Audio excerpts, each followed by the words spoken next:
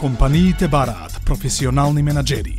Затоа, научи да планираш и организираш, научи да водиш и да мотивираш, поврзи теорија со вистинска пракса. Заврши на БАС и стани баран професионален менаџер. Бизнис Академија Смилевски. Професионални студии по оперативен и стратегиски менеджмент. 02 2455 754 и 047 225 218 bas.edu.mk Типоволни прашалники. Прашалников е за утврдување на тип на личност. Еден од најраспространетите прашалници у свет за утврдување на типологија на личности базирано на теоријата на Јунг за четирите темпераменти. Колерик, сангвиник, флегматик, меланхолик, најверојатно си чул. То сега, за тоа си чул, си ги чул тие, така? Да. Е са, а, разликата помеѓу овој прашалник и останатите прашалници што се пополнуваат е што овој е искуствено базиран.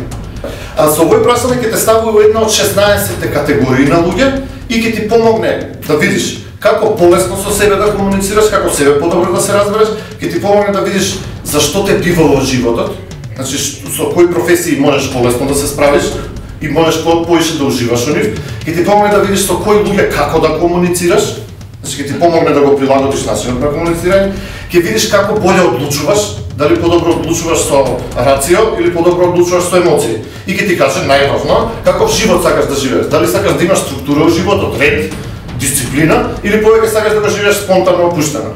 Кога ќе ги собереш сите овие работи на купче, ќе ти се дефинира типот на личност.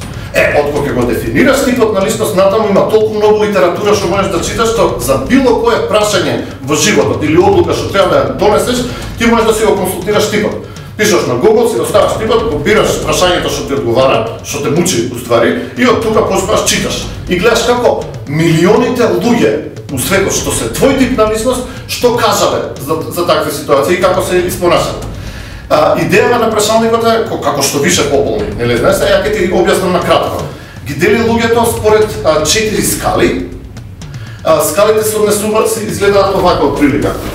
А, првата скала ти е тоа дали се концентрираш на на надворешниот свет или се повише се фокусираш на себе самиот. Унатре. Сите сме ние.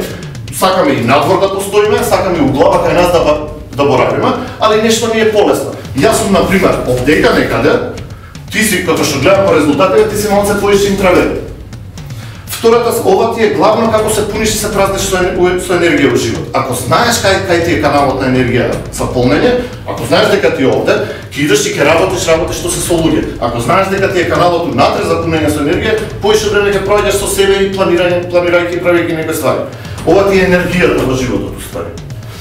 А втората скала ти е перцепција, како ги примаш стварите. Луѓето ги примаат или преку сетилата работите, или ги примаат како целини, интуитивно. Цело па гледаш што уствари тоа им значи.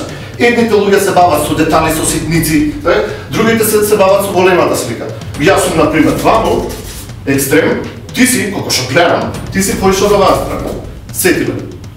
Значи, ова ти беше како се пуниш празни со енергија, ова ти е како го примаш светот. Е сега, тоа што го примаш ти уствари, треба да му даеш некакво значење, нешто да направиш со него.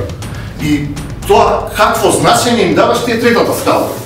Ти вика, луѓето одлучуваат за тоа што го гледаат или прават, или преку рацио и логика, разумно, или го прават тоа емотивно, преку чувства, филинг. Тука сме и двајцата исти, пошто и јас сум рационалец и ти си рационалец. Ја и ти многу полесно можеме да се разбереме преку рацио. Некои луѓе се од оваа страна и одлучуваат што емотивно. И последната скала, ти уствари каков живот ти сакаш да живееш, Тие луѓето се делат или на структурирани, испланирани луѓе што сакаат по да ги прават стварите по план, со контрола, да имаат контрола у себе, или сакаат да бидат опуштени, отворени за варијанти и случајности што, што се дешаваат по пат, па да можат да пливаат низ животот кој што сакаат.